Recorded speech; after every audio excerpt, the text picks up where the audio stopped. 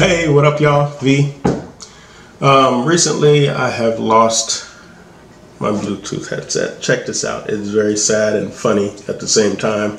Just don't laugh. Look at that. Yep, that's duct tape.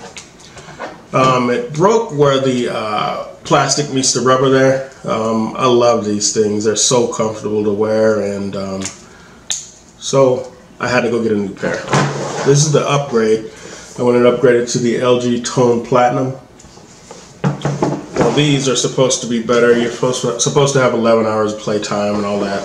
Call quality on these are excellent also. I never have a problem with them. See what's in the box here. Little case. Nothing else is in there. So, extra earbuds. And we have a charge cable, USB uh, micro USB. And that's it. So anyway, thing I love most is you can barely feel them on your neck. I mean, they're so light. I almost got into a shower with them once, and it, it's just they're really light. Um, you listen, you want to listen to music, take a phone call. I usually leave one in my ear, just take a phone call, and when you're done, you just kind of give a pull, give a little tug, and it pops right up. Now with these, um, one of the things I saw when I looked at them in the store is I saw the buttons gone. You know, the retracted. These retract. You know, once you're done. And I was like, oh, well, that's not not good.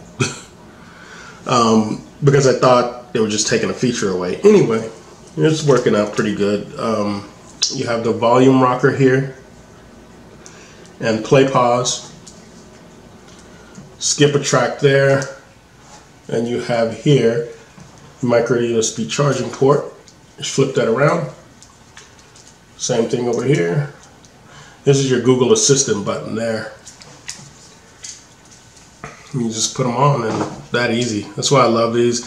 The other earbuds that you put in your ear, I mean, I misplace things a lot. I don't know if I'll do too good with those. Anyway, LG Tone Platinum by LG, of course. Put the link in the description below. If you like my content, please like, comment, subscribe, everybody. This is V. I'm out. So one more thing. I'm sorry, I apologize, I didn't tell you this. Turn them on. The on-off switch is there. Actually, two more things. Right there. And when you turn them on for the first time, they should pair with your phone, your phone should find them. If not, go into the settings of your phone, hit the Bluetooth, look under LG and it'll have a little code HBS1125, which is the model number.